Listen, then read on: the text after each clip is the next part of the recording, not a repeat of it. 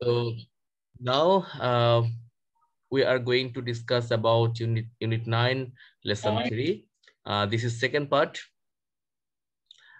এই পার্টে আমরা দেখব যে ইকো ট্যুরিজমের ব্যাপারে যে আসলে কতটা গুরুত্বপূর্ণ এবং আসলে কি ইকো ট্যুরিজমটা এই গভীর অরণ্য বা আমাদের যে ঐতিহ্য আমাদের যে সুন্দরবন বা এরকম জাতীয় যতগুলো ট্যুরিজম রয়েছে, এটা আসলে কি নিরাপদ কিনা? নিরাপদ কিনা? অনেকে বলে যে ইকো ট্যুরিজমটা অবশ্যই এটা অনেক ভালো, আবার একটা পরিসংখ্যান দেখাবে যে না, আসলে এটা আসলে বন্য প্রাণীদের ক্ষতির কারণ হতে পারে এবং সেটা কীভাবে হতে পারে এবং আমাদের কি করণীয় সে বিষয়ে এখানে হয়তো আলোচনা রয়েছে। সো আমরা এটা দেখি।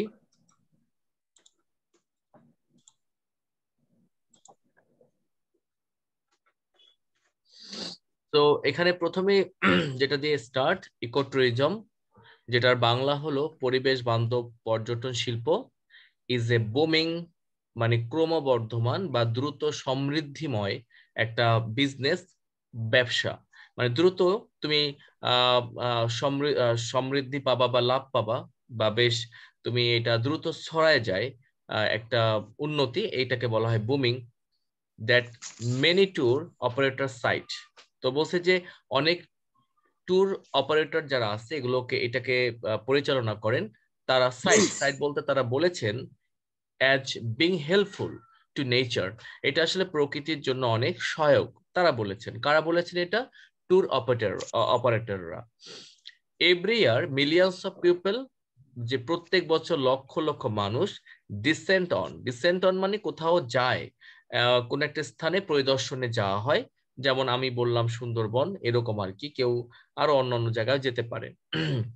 সেই জায়গাটা কেমন হবে? প্রোটেক্টেড সুরক্ষিত অ্যান্ড প্রিস্টাইন প্রিস্টাইন বলতে কি একেবারে নির্মল বা বিশুদ্ধ যেখানে বিরাজ করে, যেখানে একটা শান্ত এবং বিশুদ্ধ একটা পরিবেশ পাওয়া যায়, এমন একটা ন্যাচারাল এরিয়া কেন যায় সেখানে?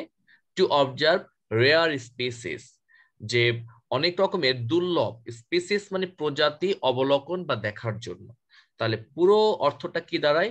ইকো ট্যুরিজম যেটাকে আমরা বললাম পরিবেশ বান্ধব পর্যটন শিল্প, একটি ক্রমবর্ধমান ব্যবসা যা অনেক ট্যুর অপারেটর প্রকৃতির জন্য সহায়ক বলে উল্লেখ করেন। প্রত্যেক বছর লক্ষ লক্ষ মানুষ বিরল প্রজাতি পর্যবেক্ষণ করতে সুরক্ষিত এবং আদিম প্রাকৃতিক এলাকায় নেমে আসে বা তারা সেখানে যায়। তাহলে আমরা আরেকটু ইংলিশটা পড়ি ecotourism is a booming booming business that many tour operator cite as being helpful to nature. Every year, millions of people descend on protected and pristine natural areas to observe rare species.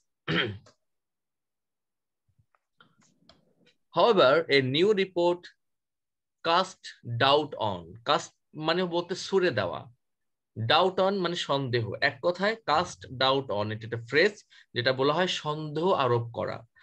বা তারা কিছু সন্দেহ করেছে। কারা? A new report কিছু নতুন অনুসন্ধান তারা সন্দেহ করেছে যে the value of this form of tourism বলছে যে এই যে পর্যটনের যে, এর যে মূল্যায়নটা, এর যে গুরুত্বটা in fact it suggest that ecotourism মানে তারা সন্দেহ পোষণ করেছে যে ট্যুরিজমটা এটা তারা আসলে সন্দেহ করেছে। কি সন্দেহ করেছে যে আসলে না, এটা আসলে হেল্পফুল হতে পারে না। তাহলে এই new report cast doubt on the value of this form of tourism ট্যুরিজমের এই যে মূল্যায়নটা, যে তারা বলেছে যে এটা আসলে হেল্পফুল না, সেটাকে তারা সন্দেহের দৃষ্টিতে দেখছে। ইনফ্যাক্ট বস্তুত ইট সাজেস্ট দ্যাট এটা পরামর্শ দেয় যে ইকো ট্যুরিজম মানে পরিবেশ বান্ধব পর্যটন শিল্প ইজ মোর ড্যামেজিং এটা ক্ষতিকারক হতে পারে দেন হেল্পফুল টু নেচার প্রকৃতির সহায়কের থেকে বরং এটা আরও বেশি ক্ষতিকারক হতে পারে। এটা বলতেছে এই নতুন একটা রিপোর্টের মাধ্যমে। যাই হোক, একটি নতুন প্রতিবেদন এই ধরনের পর্যটনের মূল্য নিয়ে সন্দেহ প্রকাশ করেছেন। প্রকৃতপক্ষে এটি পরামর্শ দেয় যে ইকো ট্যুরিজম প্রকৃতির জন্য সহায়কের চেয়ে বেশি ক্ষতিকারক হতে পারে। Details are in a report published in the journal.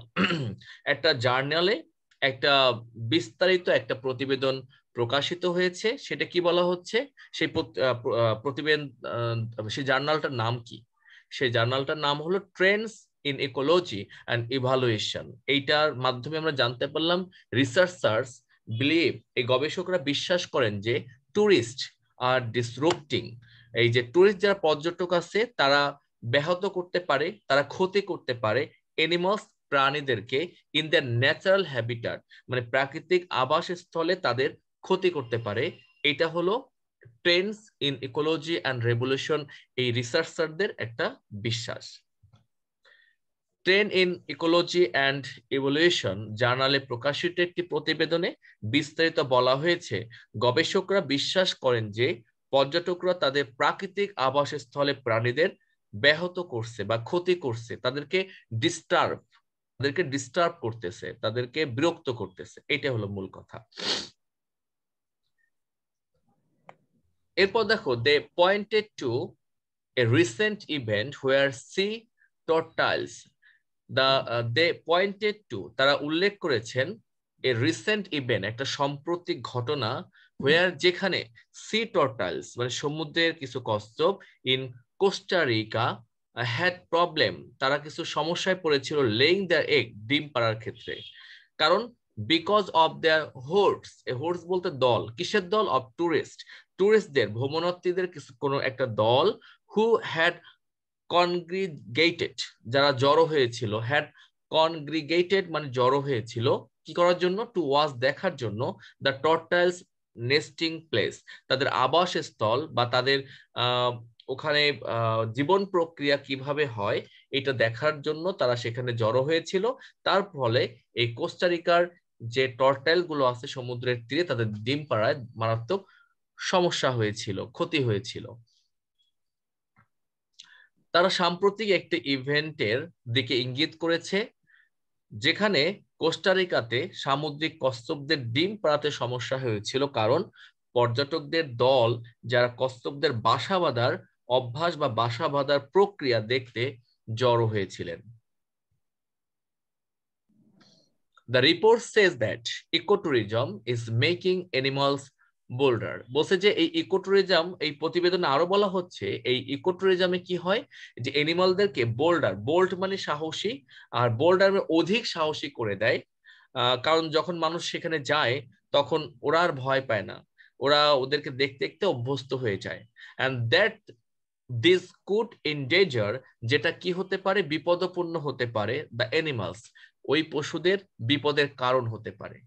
Regular human presence যদি প্রতিদিনই মানুষরা ওখানে উপস্থিত হয় মাইট মেক অ্যানিমালস টেম্পার তাহলে অ্যানিমালগুলো কেমন হতে পারে? পোষ মেনে যেতে পারে টেম্পার হতে পারে। যেমন প্রথম যখন আমি সুন্দরবনে গিয়েছিলাম, আমি একটা চকলেট ললিপপ ধরেছিলাম, ও আমার হাত থেকে ললিপপটা নিয়ে গেল এবং ঠিক একটা বাচ্চা ছেলে যেভাবে ওর মোরগটা বা খোসাটা খুলে খায়, ঠিক সেম ওয়েতে সে খাচ্ছিল আমি হতবাক হয়ে গেলাম। তো এই যে ব্যাপারটা যে মানুষ সবসময় যায় এবং হারবারিয়াতে আমার দেখো লোগোতেও হারবারিয়ার ছবিটা দেওয়া ওখানে লেখা হারবারিয়া ট্যুরিজম ইকো ট্যুরিজম লেখা। তো ওখানে তুমি যখনই যাবা তখনই দেখবা এক ঝাঁক বানর তোমাকে অভ্যর্থনা জানাবে। ওখানে কোনো মানুষ থাকে না। তুমি যখনই যাবা দেখবা যে এক ঝাঁক বানর তোমাকে অভ্যর্থনা জানাবে এবং যখন তুমি উপরে উঠবা তখন শুধু তুমি বানরে দেখতে পাবা। হ্যাঁ এরকম আর কি। তো ওরা কি হবে? টেম্পার হয়ে যাবে। তোমার সাথে পোস্ট মেনে যাবে। অ্যান্ড লেস কোয়েশাস এবং কম ভয় পাবে, সতর্ক থাকবে। কোয়েশাস মানে সতর্ক about other animals around them on, আশেপাশে যত এনিমালসগুলো আছে, তারা আস্তে আস্তে কম সতর্ক বা ভয় পাবে। And this could put them at রিক্স অফ বিং অ্যাটাকড এই জন্য তারা কি হতে পারে? তারা রিক্সে ঝুঁকির মধ্যে পড়ে যেতে পারে। বিং অ্যাটাক তারা আক্রমণের শিকার হতে পারে by the natural threat natural threat বলতে প্রাকৃতিক যে হুমকি, সেটার ঝুঁকির মধ্যে বা সেই ধরনের আক্রমণের শিকার হতে পারে। তো এখানে বলা হচ্ছে, প্রতিবেদনে বলা হয়েছে যে ইকো ট্যুরিজম প্রাণীদের আরও সাহসী করে তুলছে এবং এটি প্রাণীদের বিপদে ফেলতে পারে। নিয়মিত মানুষের উপস্থিতি প্রাণীদেরকে তাদের আশেপাশে অন্যান্য প্রাণীদের সম্পর্কে কম সতর্ক করে তুলতে পারে এবং এটি তাদের প্রাকৃতিক হুমকি দ্বারা আক্রান্ত হওয়া ঝুঁকিতে ফেলতে পারে। এরপর দেখো then they will suffer higher mortality সুতরাং তারা কি ধরনের সমস্যায় পড়তে পারে? যে মর্টালিটি মানে কি? মর্টালিটি মানে মৃত্যুর হার। তারা মৃত্যুর হারটা তাদের বেড়ে যেতে পারে। হোয়েন দে এনকাউন্টার তারা মুখোমুখি হতে পারে রিয়েল প্রিডেটর্স প্রিডেটর্স মানে হলো প্রাকৃতিক প্রকৃত শিকারীদের। তারা শিকারীদের পাল্লায় পড়তে পারে।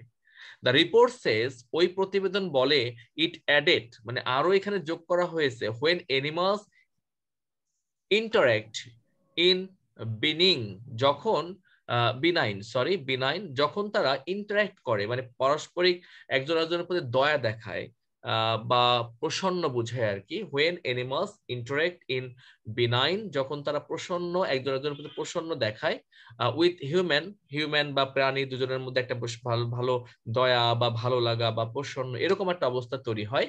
They may let down their guard তাহলে কি হতে পারে? তখন তারা তাদের সতর্কতার মনোভাব কমিয়ে ফেলবে।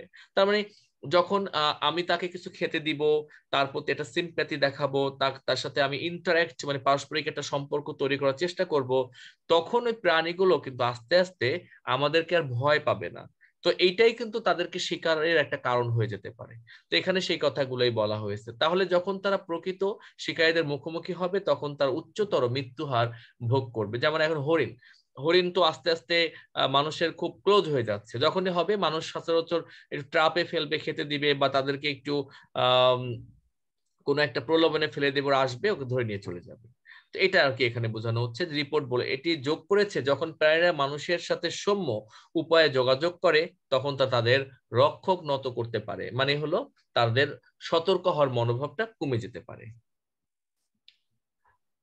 লাস্ট যে জিনিসটা আমরা দেখব, সেটা হলো the report said it was essential report বলতেছে এটা আসলে দরকার, এটা আসলে প্রয়োজন টু ডেভেলপ উন্নতি করা এ মোর কম্প্রেহেন্সিভ আন্ডারস্ট্যান্ডিং মানে ব্যাপকভাবে বোঝাপড়া, বোধগম্যতার খুব বেশি দরকার of how different species in different situation যে বিভিন্ন প্রজাতির বিভিন্ন অবস্থায় তারা কীরকম ভাবে রেসপন্ড করে to human visitation human visitation বলতে বোঝায় যখন মানুষরা ভ্রমণ করতে আসে, তাদের সম্পর্কে তাদের ধারণা কেমন হতে পারে। এই বিষয়ে তাদের আন্ডারস্ট্যান্ডিংটা বাড়ানো দরকার। আর কি বিষয়ে আন্ডারস্ট্যান্ডিং বাড়ানো দরকার? অ্যান্ড আন্ডার হট প্রিসাইজ এবং তাদের যথাযথ কন্ডিশন হিউম্যান এক্সপোজার মানুষ যেভাবে নিজেদেরকে প্রকাশ করে বা অনাবৃত্ত অবস্থা মানে প্রকাশ করে মাই পুট দেম অ্যাট রিক্স হ্যাঁ তো কি হতে পারে যে তাদের, তারা কীরকম ভাবে, তারা যদি বেশি নিজেদেরকে প্রকাশ করে, উন্মুক্ত করে, অনাবৃত্ত করে, তাহলে কি ধরনের ক্ষতি হতে পারে?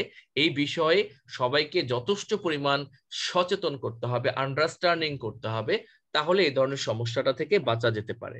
তো বলছে, প্রতিবেদনে বলা হয়েছে যে, বিভিন্ন পরিস্থিতিতে বিভিন্ন প্রজাতি কীভাবে মানুষের পরিদর্শনে সাড়া দেয় এবং কোন সুনির্দিষ্ট পরিস্থিতিতে মানুষের সংস্পর্শ তাদের ঝুঁকির মধ্যে ফেলতে পারে, সে সম্পর্কে আরও বিস্তারিত বোঝার বিকাশ করা অপরিহার্য। মানে তাদেরকে বোঝানোটা আরও বেশি বোঝানোটা খুবই দরকার।